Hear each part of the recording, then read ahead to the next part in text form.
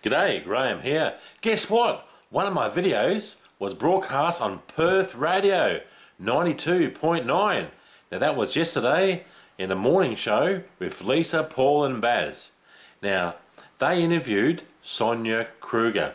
Now, Sonia Kruger is going to be the host of, of the Big Brother, which is going to come on Channel 9 in a few months' time. So, listen to this. Oh.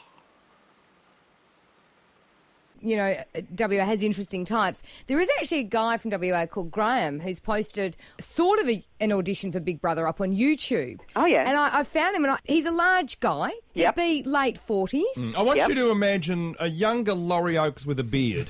Oh, awesome. Here's, yeah. he, here's a bit of his Big Brother audition on uh, YouTube. Oh, thank G'day, Graham here. Guess what? They're gonna have auditions for Big Brother Australia. Yay! If I get in, would you watch Big Brother just because of me? Would you want to see me become really slutty in a spa? Oh, or just sunbake my beautiful body on the deck? Oh, oh. All right, can we put him in? Sounds interesting. I mean, there's the thing that age is no barrier. So, you know, Sonia, you're not saying whether you want him or not.